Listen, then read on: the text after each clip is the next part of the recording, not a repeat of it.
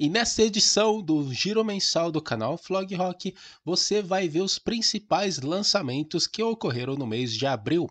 Vamos falar também das principais notícias do mundo do rock e metal, como o cancelamento do Megadeth no Rock in Rio, a possível volta da carreira solo de Bruce Dickinson e mais um capítulo da treta entre Angra e Edu Falaschi, além dos lançamentos de Xamã, Hammerstein, Papa Roach entre outros mais, provando que o rock, provando que o rock não morreu. Tudo isso logo mais depois da vinheta.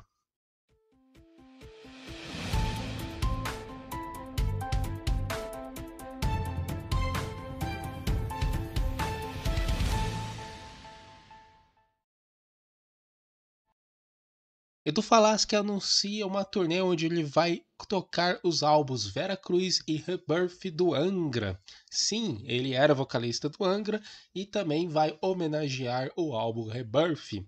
Lembrando que o próprio Angra também anunciou a sua turnê em comemoração dos 20 anos do Rebirth. Então vai ser os dois aí meio que disputando as atenções dos fãs. Só para contextualizar, né, o Rebirth ele é um dos melhores discos do metal lançado em 2001 pelo próprio Angra e na época o Edu Falaschi era o vocalista. Após tretas e histórias mal contadas, Edu e Angra não têm mais uma relação amistosa e anunciaram as turnês de homenagem do mesmo disco. E aí o que vocês acham? Será que eles vão dividir os fãs ou todos irão assistir ambos os shows? Na minha opinião, eles tinham que fazer as pazes e fazer uma turnê conjunta. Todo mundo sairia ganhando. Eu não sei o que aconteceu de fato com essa treta toda, mas. Bom, paz e amor, né? E o Megadeth, que teve seu show cancelado no Rock in Rio desse ano, uma das principais atrações do festival no dia do heavy metal, não virá mais. Segundo informações que rondaram após o anúncio, o cancelamento foi que o Dave Mustaine não se vacinou contra a Covid, algo que foi desmentido recentemente pelo guitarrista Kiko Loureiro, que deu a entender que Dave Mustaine se vacinou, tanto que se não fosse isso, a banda não faria shows em território americano, já que lá as exigências são bem maiores que no Brasil. E o motivo do cancelamento simplesmente foi por conflito de agenda. Pois entre os meses de agosto a outubro de 2022, o Megadeth vai excursionar pelos Estados Unidos, abrindo os shows da banda Five Finger Death Punk, e eles preferiam permanecer na terra do tio Sam.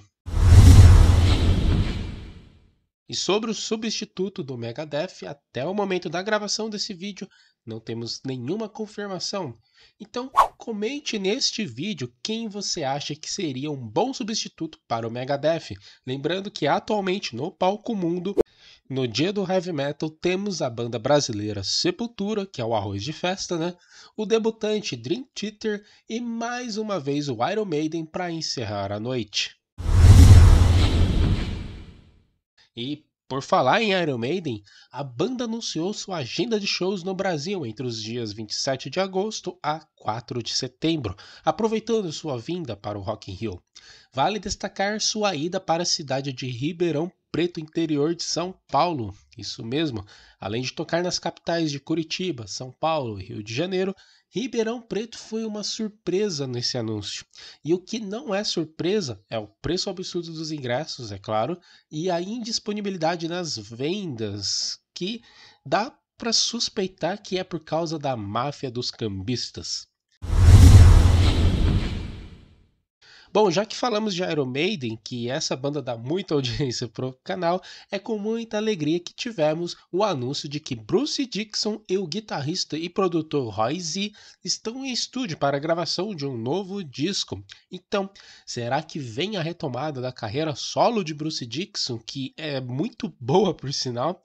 Eu faço até outra pergunta: será que Adrian Smith estará envolvido nesse projeto? Enfim, fica essas questões para os próximos capítulos. Ah, e só uma coisa: caso você não conheça a discografia ou a carreira solo de Bruce Dixon, fizemos uma tier list da discografia e contamos um pouquinho da história do Bruce Dixon. Vale a pena conferir, vou deixar o card aqui no vídeo. E claro, se você chegou até aqui, peço para se inscrever no canal caso não é inscrito. Ative o sino para não perder os próximos vídeos e ajude a gente a atingir a meta de 30 mil inscritos. Conto com a sua ajuda para espalhar a santa palavra do rock. E por falar em espalhar, vou passar a palavra para o Douglas Pinheiro, que está sempre por dentro dos últimos lançamentos. Salve, salve, galera do canal Vlog Rock, aqui é Douglas Pinheiro e este é o quadro Giro Mensal, Notícias e Lançamentos. Curta o vídeo, se inscreva no canal, ative o sininho e compartilhe com seus amigos. Canal Vlog Rock, rumo aos 30 mil inscritos. E o mês de abril começa com um dos discos mais esperados do ano, é o Michegar, com o álbum Immutable. Excelente trabalho e muito esperado pelos fãs.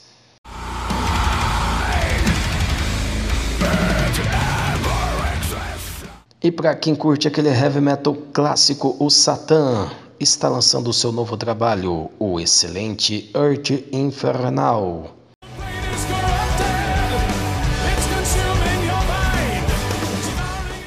E para os amantes de thrash metal, o Destructure está lançando o seu novo trabalho de estúdio, Diabolical. Dessa vez, o Destructure vem como um quarteto e traz apenas o vocalista Shimir como único membro original da banda. É o Destructure com uma nova formação e um excelente disco que, na minha opinião, é melhor que os dois discos anteriores, e este novo trabalho vem alcançando números nunca alcançados antes na carreira do Destruction.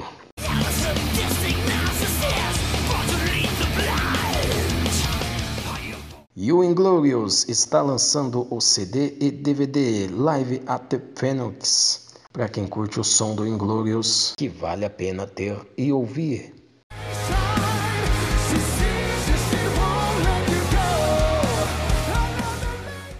E para os amantes da MTV, o Papa Rush, alguém lembra? Sim, eles continuam na ativa. E Ego Trip é o novo trabalho da banda. Claro que a sonoridade não se remete aos discos do passado, aquelas músicas clássicas, aqueles clipes que passavam na MTV. A sonoridade é um pouco moderna, até mesmo pop, mas a banda continua mais nativa do que nunca.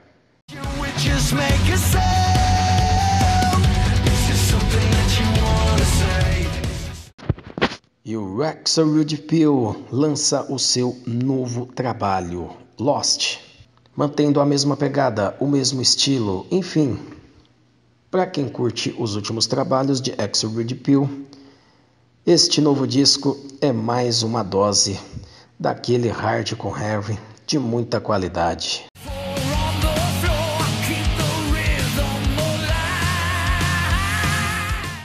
E a lendária e clássica banda Nazaré está lançando o seu 25º trabalho de estúdio, o segundo com Carl Sentence nos vocais. É o excelente trabalho Surviving the Law. Eu particularmente gostei desse disco e achei até melhor que o disco anterior.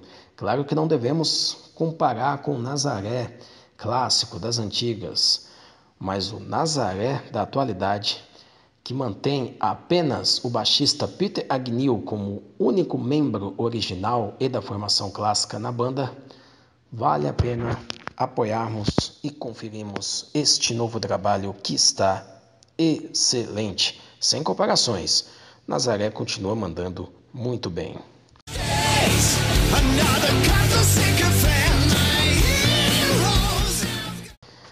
E o nosso arroz de festa europeu está lançando um disco de covers. Ele mesmo, Rony Romero, O Homem Não Para. Um excelente disco de covers que é o primeiro de sua carreira solo. É o disco Rise Edge on Radio.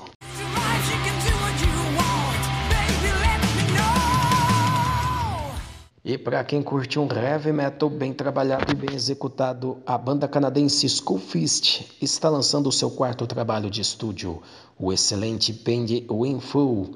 Vale a pena ouvir.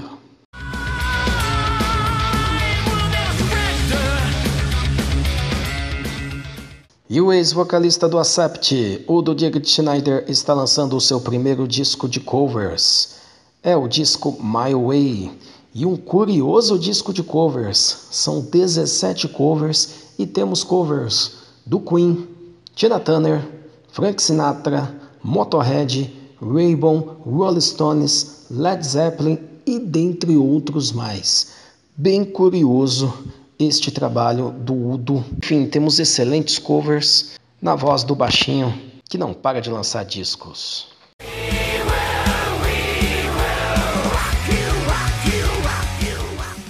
E o guitarrista do Metallica, Kick Hammett, está lançando o seu primeiro EP solo.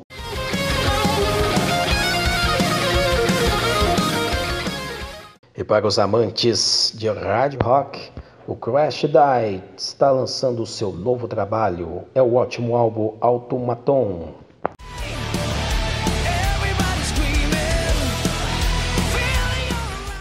E para os fãs de metal industrial, o Rammstein está lançando o seu novo trabalho. O anterior agradou bastante os fãs. E este novo trabalho continua agradando. É o álbum Zent.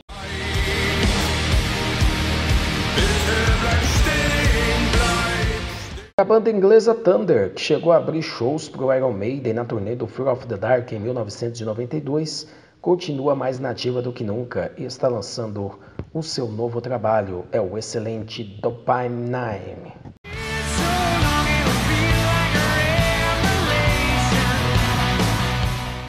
The Troops of Dawn, Antichrist Reborn, é a banda que traz o ex-guitarrista do Sepultura Jairo Tormento. Ele mesmo, que teve uma passagem pelo The Mist, e no Sepultura ele gravou o clássico Bestial Devastation. E nesse disco do The Troops of Dawn, nós temos aquela pegada da linha do Sepultura no início de carreira, sem sombra de dúvida, um dos grandes destaques de 2022. A banda já havia chamado bastante atenção em seus dois EPs e agora com seu álbum de estreia vem mandando muito bem.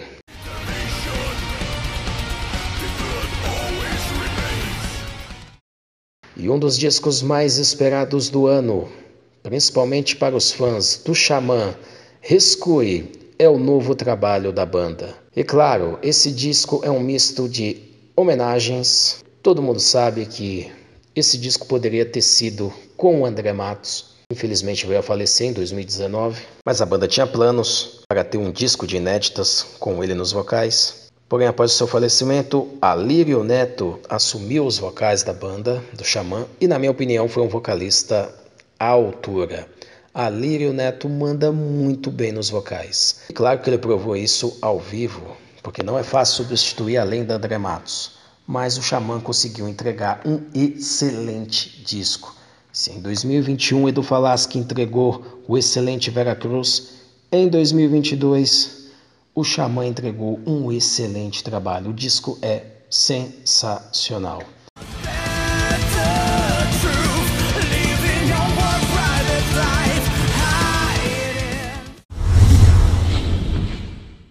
Então é isso, galera. Esse foi mais uma edição do Giro Mensal focado no mês de abril. Bom, caso a gente esqueceu de falar de algum lançamento de alguma banda, deixa aí nos comentários, por gentileza, que assim no próximo vídeo faremos uma retratação, beleza? Novamente quero reforçar a todos a se inscrever no canal e ajudar a gente a atingir os 30 mil inscritos. E também será um incentivo para continuarmos a espalhar a santa palavra do rock. Além de notícias, lançamentos, que no caso é este vídeo, falamos de biografias, curiosidades, listas e álbuns de diversas bandas e diversos estilos. Então, inscreva-se no canal, ative o sino para você não perder nada beleza? Estamos com a missão de fazer vídeos semanais e, quem sabe, no futuro fazer dois vídeos semanais. E com a sua inscrição, isso vai ser um baita incentivo. Bom, eu, Pablo Sato, vou ficando por aqui. Espero que vocês tenham gostado. Até a próxima. Falou e tchau!